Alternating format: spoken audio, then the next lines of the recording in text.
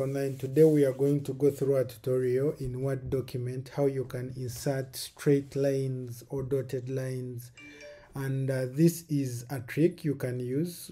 Number five is what we normally do by going to insert and do insert a shape.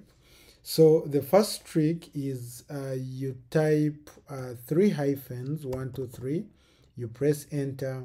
The moment you press enter, then then you get a straight line, horizontal straight line. The second trick, uh, you type hyphen underscore three times, one, two, three, press enter, then then you get a horizontal straight line still. The third trick or option is you use asterisks. This one if you wanted dotted lines. So I will do a shift 8, those are asterisk, you type 3, then you press enter, then then you'll get a dotted line.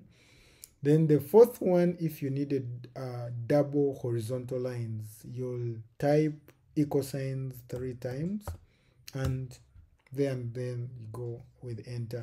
So you'll have your double horizontal lines. Then the fifth one is what we normally do most of us.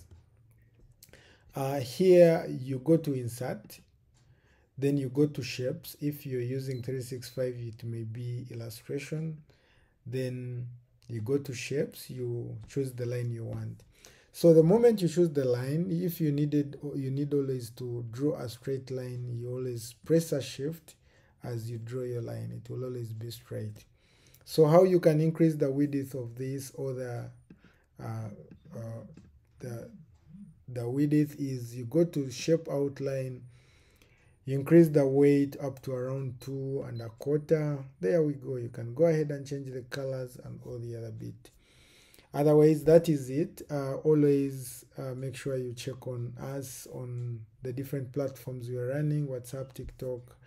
Uh, if you're watching this on youtube then you'll find all the description in the comment section. Please leave us a comment. And give us a thumbs up if you found this video useful.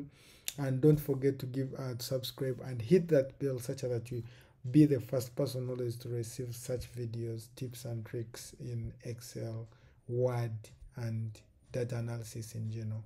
Bye bye meet you in the next video